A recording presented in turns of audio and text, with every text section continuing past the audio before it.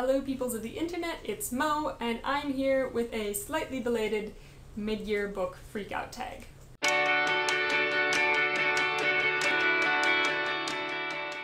So as I said, this is slightly late, but because I've only recently got back onto BookTube, I feel completely justified in doing it now, especially because you guys didn't hear me talk about most of the books that I've read this year because I wasn't here. So some of these will be things that I have not talked about previously uh, in my videos, and because there's 15 questions, this is probably going to make a slightly long video, so I'm just going to get right into the questions.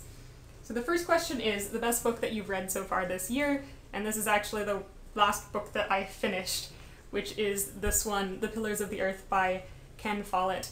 I'm going to do a review video on this, because um, there's no way that I can do it justice. Um, possibly even just in its own video, but certainly not here in a tag. It's about a thousand pages long, um, and this is about uh, the lives of a number of different characters who are connected to somehow the rebuilding of a cathedral in the 12th century. So you follow a bunch of different characters. You follow the prior of monastery, you follow some of the builders working on the building, uh, you follow the local earl and one of the bishops, and it's covers a large number of years as well as a large number of characters, and it's really about how sometimes bad things happen to good people and sometimes evil men prosper in spite of um, in spite of how hard you try, sometimes things don't work out, and sometimes it just takes a really long time before they do. So this is a really brutal and sort of painful book, although it does have a happy ending, so if you're working on it and you're kind of not sure in the middle, do push through to the end, because it's very well done. Um, like I said, I will do a separate review of this, I'm not going to talk anymore about it now, but it was so good, I gave it five stars. The second question is the best sequel that you've read so far this year, um, and I'm going to interpret sequel as in any book that isn't the first book in a series, so I'm going to go with Busman's Honeymoon by Dorothy Sayers. This is actually the 13th book in a series, and this is one of the Lord Peter Wimsey mystery novels. This is a series that was written in the 1930s and follows Lord Peter, who is the second son of a duke and has all of this free time and uses it to solve mysteries. And he's a lot of fun. He's a wonderful character. I will also be putting up a video about this whole series uh, sometime soon. I'm still working on putting it together because it is reasonably long. Um, I'm kind of putting this in as like a placeholder for a number of the books in this series because I really did like quite a few of them.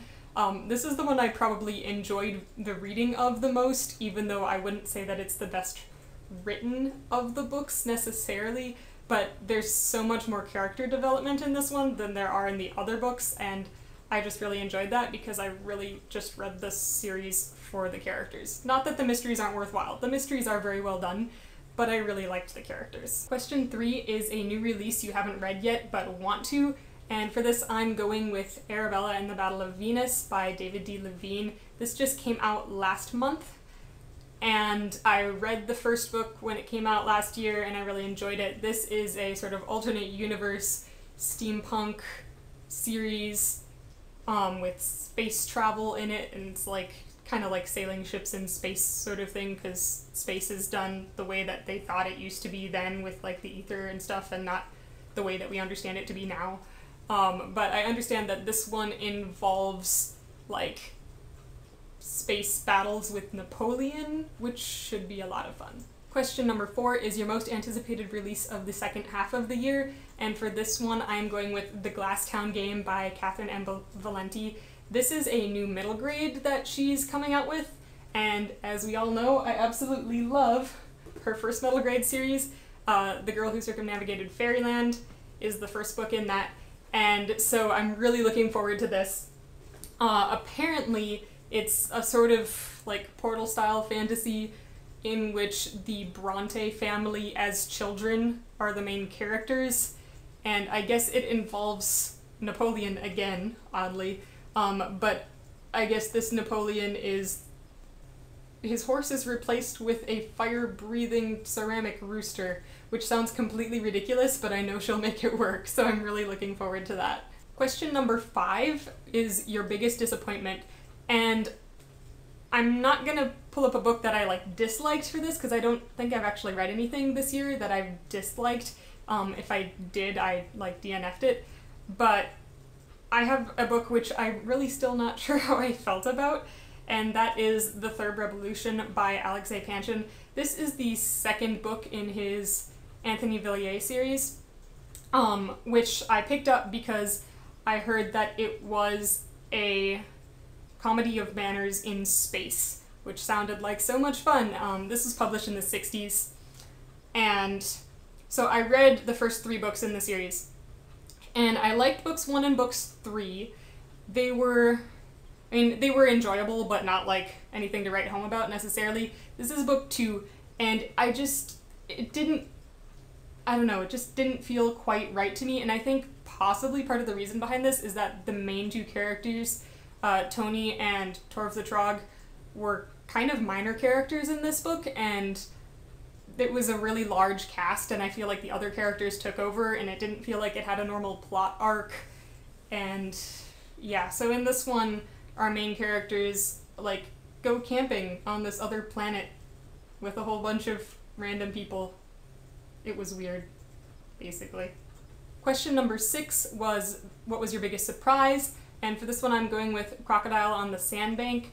Uh, this is the first book in a mystery series all involving like Egypt and uh, archaeology, and I really knew nothing about it when I went in, which is possibly why it was my biggest surprise. Uh, I just picked it up on a recommendation from like Goodreads or something. Um, but this was a lot of fun. Uh, I really enjoy the main character. She's just got this great personality. Um, and I think part of what surprised me about this was that it felt slightly like Scooby Doo ish in a way, and I was not expecting that because it is an adult mystery novel, but like not in a. It didn't remind me of Scooby Doo in a bad way. It wasn't like childish or anything like that. Um, it was just it was a really enjoyable read, and I would recommend it if you like mysteries. Question number seven is your favorite new author, and for that I'm going to go with Lois McMaster Bujold. Obviously, I've heard tons about her before. She's a really big name in science fiction and fantasy, but I hadn't actually read any of her books until this year. Um, and I'm holding up the first one that I read by her, which is The Curse of Chalion.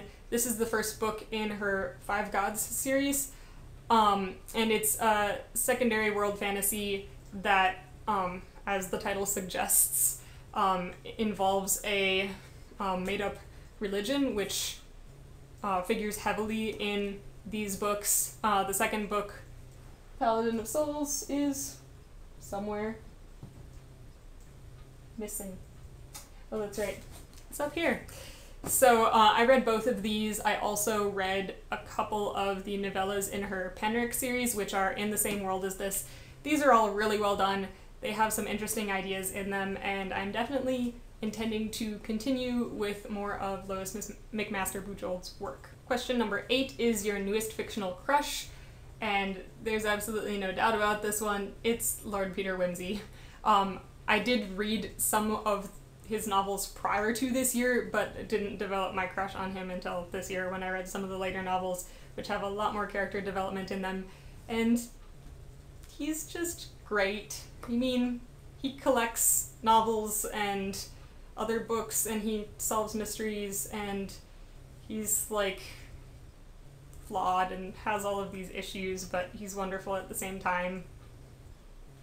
And like his book series has like one of the best romances that I've read. So question number 9 is your newest favorite character and with, for that I'm to go with Prior Philip from this book because he just tries so hard and he's so good without even like thinking about it. And yeah, I like Philip. Question number 10 is a book that made you cry. And well, this one. Yeah. Brutal, guys. Question number 11 was a book that made you happy. And for that one, I have this To Say Nothing of the Dog by Connie Willis. This was a reread for me, but I recently bought myself a copy of it and immediately had to reread it because it was in my hands and I couldn't help myself. So, this is a comedic time travel novel um, which takes place in the future and in World War II and in the Victorian era, and it's basically Connie Willis's homage to uh, Three Men in a Boat by Jerome K. Jerome and to the Lord Peter Wimsey novels. And it's just wonderful, and it makes me so happy. And it was even funnier the second time around, so I really enjoyed this and look forward to future rereads as well. Question number 12 is your favorite book to TV adaptation that you saw this year? I don't really watch movies or TV very much, so I think I've only seen one this year, and it was a rewatch for me, and that was Oh Brother Where Art Thou, which is not exactly the Odyssey, but it's based on Homer's Odyssey, and it's really good. So if you haven't seen it, you should go watch it because it's terribly hilarious. But yeah, I think we're gonna have to go with that one, partially because it's the only thing that I watched that falls into this category, but it's still good. The next question is the favorite video that you've made so far this year. I've made like hardly any videos this year because I only just came back to booktube pretty recently. So it would probably have to be my TBR tour video because that was kind of fun getting to go through all my books. Otherwise, possibly this one. Question number 14 is the most beautiful book that you bought this year. And this is hands down this set of Kipling that I got earlier this year. This is uh, his Just So stories, and this is the Jungle Book. Um, and they're in the International Collectors Library editions, and it's just all of this gold leaf, and they're gorgeous, and both of them are illustrated as well. So let me find one of the illustrations for you guys. Here's one of them. So yeah, these are just lovely. And the last question is what books do you need to read before the end of the year? So I feel like I kind of already answered this question in my TBR tour video in which I show you all of the physical books that are on my TBR. Um, but I pulled out a couple that are high priority for me. Um, the first two I already mentioned in this tag. I don't have copies of them yet because they're new, but that would be Arabella and the Battle of Venus and the Glass Town game. And then I have a few others that are high priority. So, firstly, Rendezvous with Rama by Arthur C. Clarke. The fifth season, because everybody is freaking out about the series right now, and I haven't started it yet. The next is Gormenghast by Mervyn Peake, because I read the first book in this series earlier this year and I want to continue on. And then lastly, If on a Winter's Night a Traveler by Italo Calvino. So, let me know if you guys have read any of these books and what you thought of them, what your favorite book was so far this year, and I will be talking to you again in another video soon. Happy reading!